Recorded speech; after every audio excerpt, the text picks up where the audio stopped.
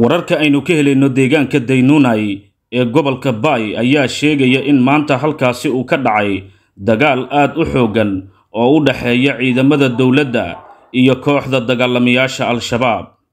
Dagaalka ayaa bilowday salaada subax kadib markii ay dagaalamayaal ka tirsan al-shabaab ay weerar ku qaadeen xerada ciidanka dowladda ay ku leeyihiin deegaankaasi waxaana warar hordhac ah aynu helayno ay xaqiijinayaan in dagaalka uu ka dhashay khasaaro isugu jira dhimasho iyo dhaawac oo soo kala gaaray labada dhinac. Saraakiil ka tirsan ciidanka dowladda oo aan la hadalnay ayaa waxa ay xaqiijiyeen in dhankooda khasaaro xooggan ay gaarsiiyeen dagaalamayaasha al-shabaab ee weerarka ku soo qaaday xerada ay ciidanka dowladda ku leeyihiin deegaankaasi. Khasaaraha ilaa iyo hadda ma aysan shaacin saraakiisha u hadashay ciidanka dowladda ee ku sugan furimaha dagaalka. Sidoo kale ciidanka dowladda ayaa sheegtay in ay dagaalkaasi ku furteen saanad militari oo ay dagaalamayaasha al-shabaab ay lahaayeen. Xaaladda deegaanka daynunai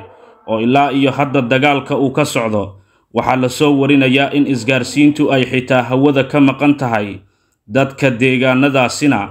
ayaa guud ahaanba isaga barakacay halka uu dagaalka ka socdo. Wararkii ugu dambeeyey waxa ay xaqiijinayaan in ciidamada ku sugan furimaha dagaalka ay difaac xooggan galeen kadib markii dagaalamayaashii ugu badnaa oo ka tirsan al-shabaab ay isku soo urursadeen halkaas sida ay wararku tilmaamayaan. Maalmihii ugu dambeeyey ciidamada dowladda ee ku sugan deegaankaasi waxa ay wadeen dhaqdhaqaaqyo xooggan oo ay ugu hortegayaan. Weerarada ay dagaalamayaasha al-shabaab qorsheynayaan inay ku qaadaan fariisimaha ay ciidanka dowladda ku leeyihiin. Deegaano ka tirsan dowlad goboleedka koonfur galbeed soomaaliya.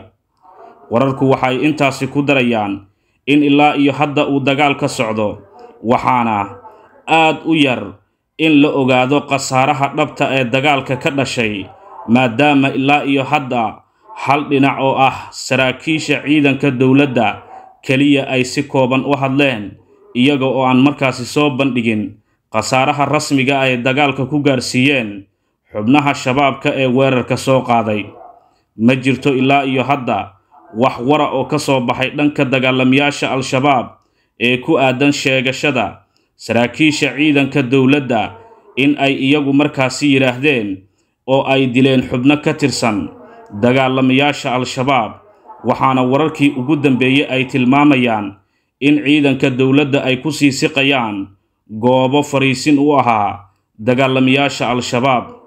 Maalmihii ugu dambeeyey al-shabaab waxaa saarnaa culayskii ugu badnaa oo uga imaanayay ciidanka dowladda iyo dadka deegaanka ee is abaabulay kadib markii ay u adkaysan waayeen dhibaatooyinka xooggan ee ay kala kulmaan dagaalamayaasha al-shabaab